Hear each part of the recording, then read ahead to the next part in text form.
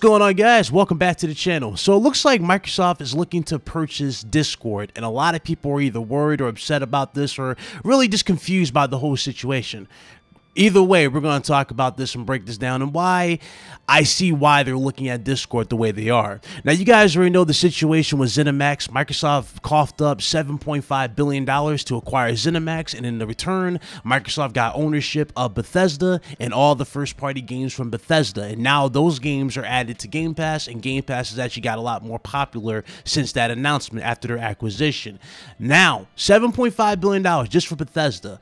Microsoft is looking to go even more further with this and pay up to $10 billion just to get Discord into their actual video game chat community. Now, I know a lot of you guys are wondering why do they want Discord and why in God's name would anybody support them having Discord? Here's the thing. Microsoft has been pushing cross progression, cross play for the longest time. And since majority of us on here on YouTube, let's face it, we are all in Discords. We all have our own custom Discord in some way or fashion. We all do podcasts around Discord. And a lot of us have actually wanted Discord in our consoles.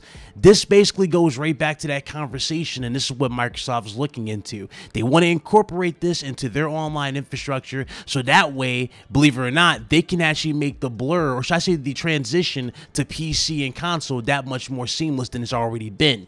I mean, think about it. What is one of the biggest gripes when you're playing a like a um a team-based game, whether it be Call of Duty, whether it be Rogue Company, or hell, even Rocket League, right? And you can't even so much interact with the people that you're talking to in terms of actually telling them, you know, where an enemy is, where the ball's coming from, where you're going in the direction. This type of stuff is going to actually help remedy that and actually help them in the situations here. So that's what they basically want. And to tell you the truth, this is cool for even like, you know, your friends list. Let's say you have a group of people that you only talk to. Let's say you have a group of like five or seven, maybe 10 or 11. You can create your own custom server have that strictly for your group and you can always be in touch with those guys without having the you know the the hassle of going down your friends list and finding them or waiting for them to appear online, etc., etc. There are definitely benefits to owning Discord in this particular fashion.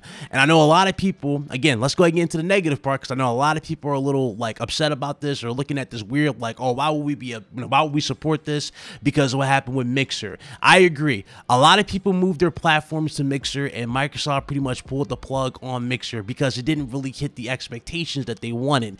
However, I don't see Microsoft doing anything of that nature with Discord if Discord sells for 10 billion. I don't see them doing that as Discord is definitely going to be, you know, more beneficial to them than Mixer. Mixer was a cool option for streamers. It was a nice open type of platform to help people get out there and reach, you know, a certain audience and push their platforms. It was a cool way of going about it.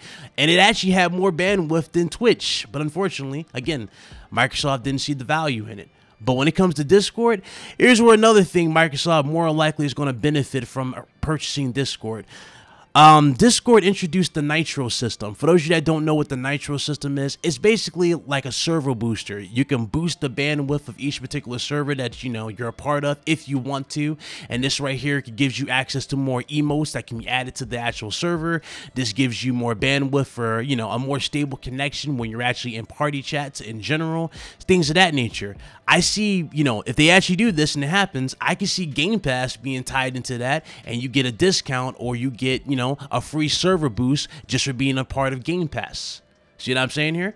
That's a way, that's a perk of Game Pass I can see happening down the road if they want to do something like that. Get free server boosts, etc., etc.